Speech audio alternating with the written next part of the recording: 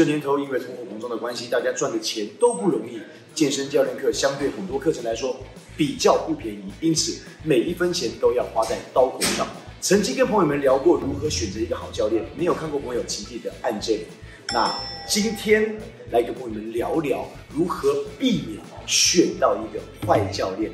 那朋友们看过这支影片之后，记得帮我大大的分享出去，因为演算法的关系，我们可以让这支影片有更多的朋友可以看到哦。记得按赞。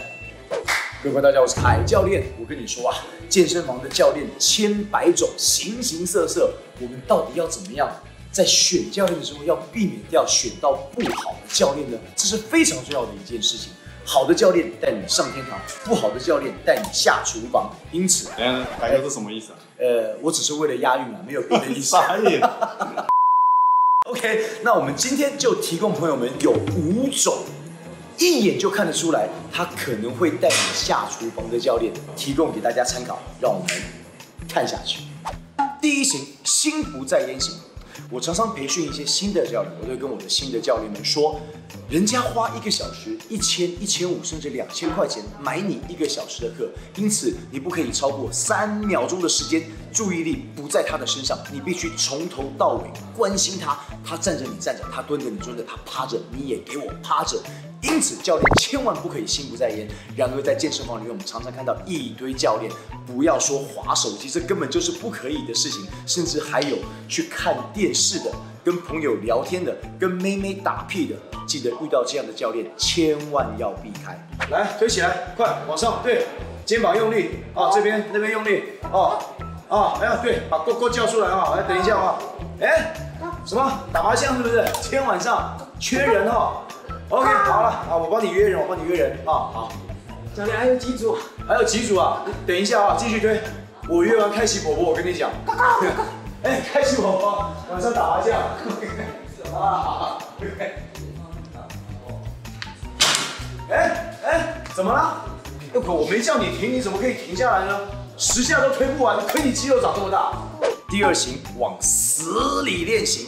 我们知道有一些健身教练的出身，他可能自己本身是健力选手，甚至职业健美选手。然而，他比较没有心去体会，有一些人，他们可能健身的强度跟他本身的体力没有到这种程度，不停的往上加重量，练到力竭、力竭再力竭，而造成学生身体很多的伤害，不但没有达到健康，反倒需要去看医生。哎，开心，哎，今天我们来做深蹲哦，一组十个了，但我没有说停，你不能停哦。十个为什么不能停？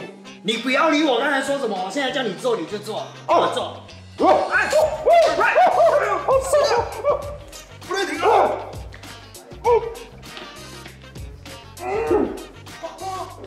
不行了，才一次而已，才一次，给我蹲，蹲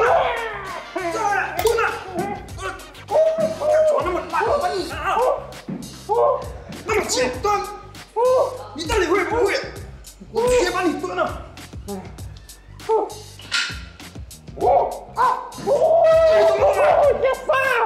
第三，花招百出型。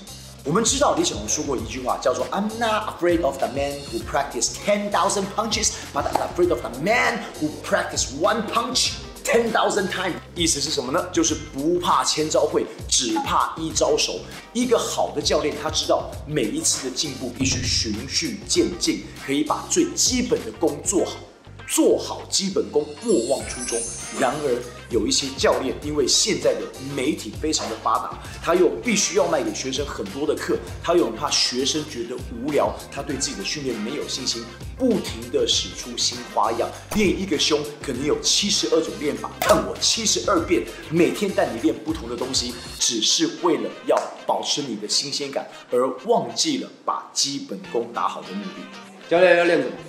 肌肉超人，我跟你讲，你平常这么大只都做重量训练，对不对？我今天教你做功能性，保证让你肌肉有活力。来，跟我做好，好啊。我先教你一次，哎，这个哑铃跟壶铃，我们坐在球上，哎，右边做肩推，左边练二头，哇，脚要抬起来，哎，这样来，我示范一个，一，所以，对这样就对了。我跟你讲，功能性要考虑到安全性。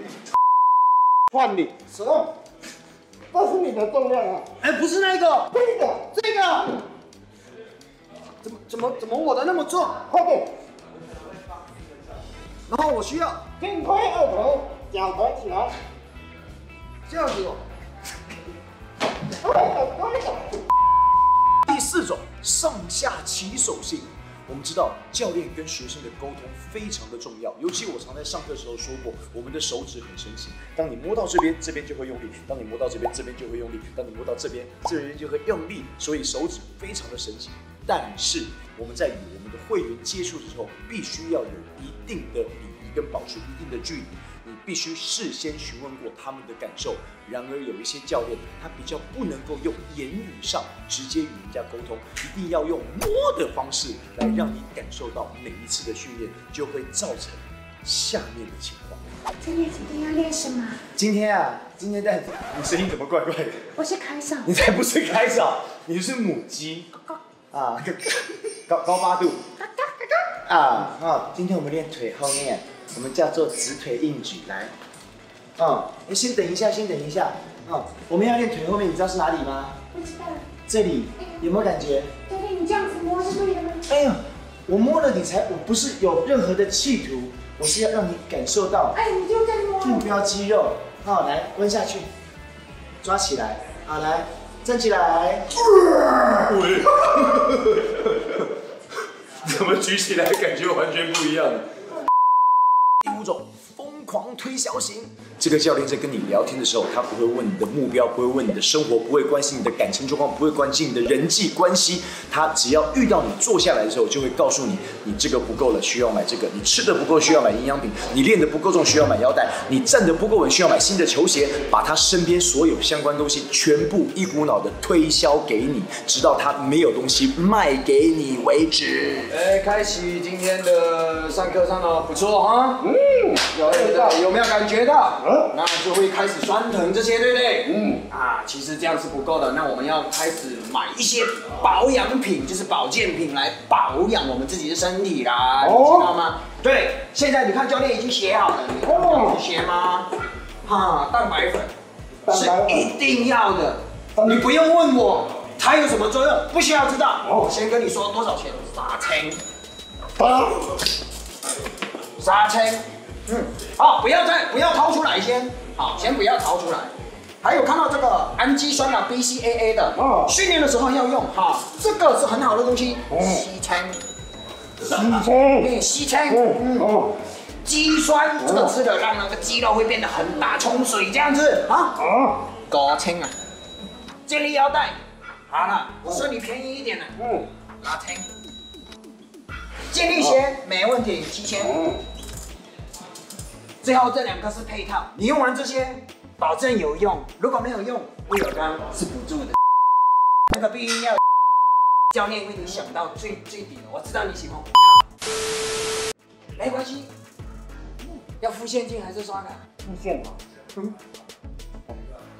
OK，以上的五种健身房可怕的教练，大家看完之后有没有感觉呢？